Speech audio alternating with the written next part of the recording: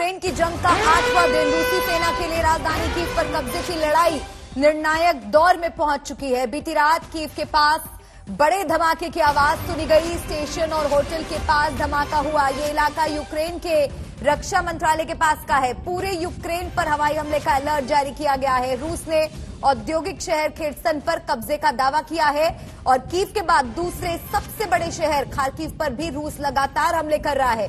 Ukraine के मुताबिक खारकीव पर हुए हमले में 21 लोगों की जान चली गई है।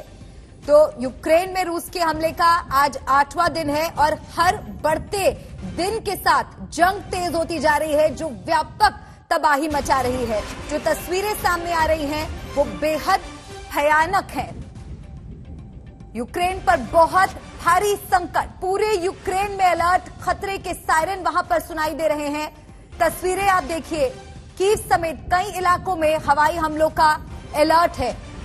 रूस की सेना यूक्रेन के दूसरे सबसे बड़े शहर खारकीव की तरफ़ बढ़ रही है। उनका मकसद खारकीव पर नियंत्रण पाना है, जिसके बाद राजधानी कीव के लिए उनके अभियान को और ताकत मिलेगी। यूक्रेन में हर जगह इन दिनों तबाही का मंजर है। सड़कों पर रूसी टैंक और रूस के सैनिक गश्त करते और यूक्रेनी रक्षा बलों से लड़ते नज़र आ रहे हैं। राजधानी कीव, बोलिन, जायतोमीर में अलर्ट। लगातार वहाँ पर आक्रामक हमले रूस द्वारा किए जा रहे हैं। निकोलेव लीव चेनिहाइव पर हमले का खतरा बना हुआ है। जयपोरिचिया ओडिशा भी रूसी प्लेन के निशाने पर है। हवाई अटैक के सायरन से पहले रूस के 15 शहर लगातार वहाँ से लोगों को निकालने की कोशिश की जा रही है। 15 शहरों पर रूस के हवाई हमलों का अलर्ट इस वक्त जारी किया गया है। यूक्रेन में राजधानी कीव, वोलिन जायतोमीर में अलर्ट जारी किया गया है। आज कीव को दहलाने की तैयारी में है रूस। तो यूक्रेन में लगातार भारी तबाही मच रही है। आधी रात से कीव पर हमलों का सिलसिला जारी है। रक्षा मंत्रालय के पास भी ज़बरदस्त धमाका हुआ। रेलवे स्टेशन के पास भी रूस का मिसाइल अटैक हुआ। रेलवे स्टेशन के पास भी मिसाइल अटैक देखने को मिला। तस्वीरें सामने आई कीव में लगातार हवाई हमले के अलर्ट का सायरन है।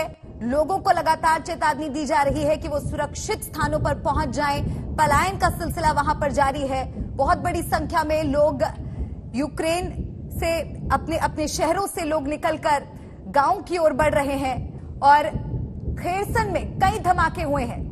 जिनकी ये भयानक तस्वीरें सामने आ रही है।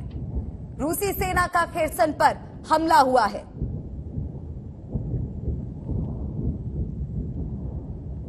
तो आपको बता दें, आसमान से बमबारी भी की जा रही है, जिसकी चपेट में सैनिक ही नहीं, आम लोग भी आ रहे हैं। खेरसन में कई धमाके हुए, रूसी सेना का खेरसन पर ज़बरदस्त अटैक हुआ है और कई शहरों पर अलर्ट इस वक्त जारी किया गया है। तो आज आठवां दिन है इस युद्ध का और लगातार यूक्रेन में भारी तबाही मची हुई है। और रूस के राष्ट्रपति व्लादिमीर पुतिन चौतरफा आलोचनाओं के बावजूद अपने फैसले पर अटल हैं। ये आठ तस्वीरें आपको दिखा रहे हैं। आठ दिन, आठ तस्वीरें अलग अलग शहरों से जो निकल कर आ रही हैं। देखिए, किस तरह से यहाँ पर जो महत्वपूर्ण इलाके हैं जो यूक्रेन की पहचान माने जाते हैं, वहाँ पर हमले हो रहे हैं। आम नागरिक इन हमलों की चपेट में आ रहे हैं। खेरसन की तस्वीर आप देखिए, ओडेसा की ये तस्वीर देखिए, आसमान में काले धुएँ का ये गुबार आपको दिखा दिखाई दे रहा होगा। जाय टुमेर में आप देखिए, किस तरह से हमलों की चपेट में आम जनता अब आ रही है। कीव पर भी बड़े हमले की कोशिश में है रूस।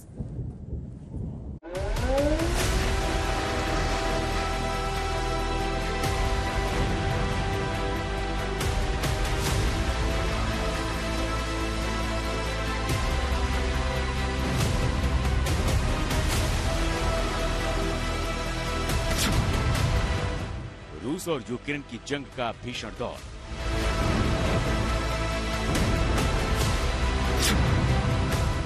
पूरे यूक्रेन में हवाई हमले का अलर्ट।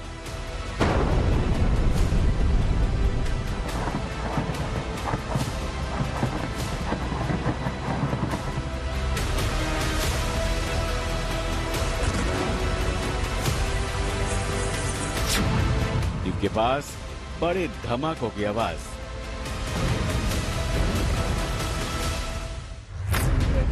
खार्किव की तबाही के बाद रूस की सेना के निशाने पर यूक्रेन की राजधानी की है।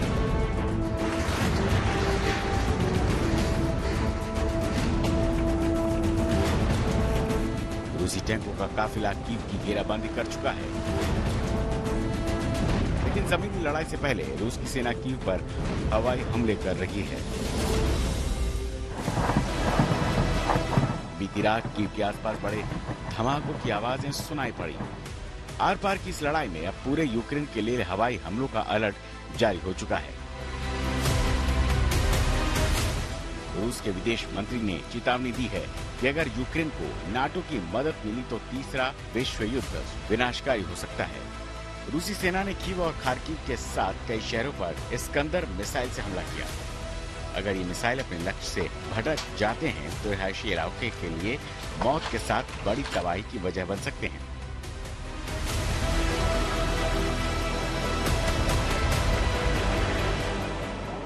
यूक्रेन की सेना के साथ उन्हें लोगों का भी ज़बरदस्त विरोध झेलना पड़ रहा है।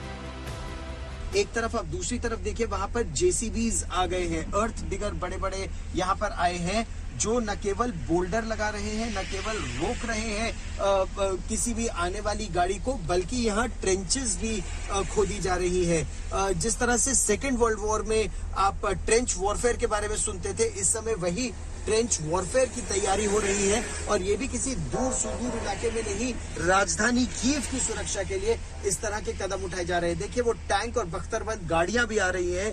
केवल कीव की सुरक्षा के लिए ये कदम इस समय उठाए जा रहे हैं। बेहद संवेदनशील स्थिति इस समय। ये तस्वीरें यूक्रेन के एनर होदर शहर की हैं। यहाँ रास्ते में रूसी सेना के आगे लोग सड़क पर उतर आए। दरअसल, एनर होदर शहर में यूरोप का सबसे बड़ा न्यूक्लियर प्लांट है और इसी से यूक्रेन को करीब आधी बिजली की सप्लाई होती है। यूक्रेन का दावा है कि उसने कई जगहों पर रूसी टैंकों को तबाह कर दिया है। ये तस्वीरें कीव के करीब बुजा की है, जहाँ सड़कों पर जले हुए रूसी टैंकों के ढेर दिख रहे हैं। इधर रूस ने दावा किया कि उसने यूक्रेन के औद्योगिक शहर खेरसन पर कब्जा कर लिया है। कुल मिलाकर रूस, यूक्रेन की जंग अब बेहद महत्वपूर्ण दौर में पहुँच चुकी है। चिंता का विषय है और कोई नहीं जानता ये युद्ध किस दिशा में जा रहा है, कितना लंबा चलेगा और इसकी इंटेंसिटी कितनी ऊपर तक जाएगी, क्या ये युद्ध एक परमाणु युद्ध में बदलेगा, क्या ये विश्व युद्ध में तब्दील हो जाएगा, कोई नहीं जानता। इस स्टेज पर बहुत ज़्यादा अनसर्टेनिटी है, हर चीज़ बिल्कुल फ्लूड है और ये कहना अभी कुछ भी जल्दबाजी होगा कि ये किस दिशा में बढ़ रहा है। संवाद के इस नए दौर में संग्राम रुकेगा या नहीं, दुनिया को इसका इंतज़ार है। कीव यूक्रेन से कैमरा पर्सन पवन कुमार और राजेश पवार के साथ गौरव सावंत, आज तक।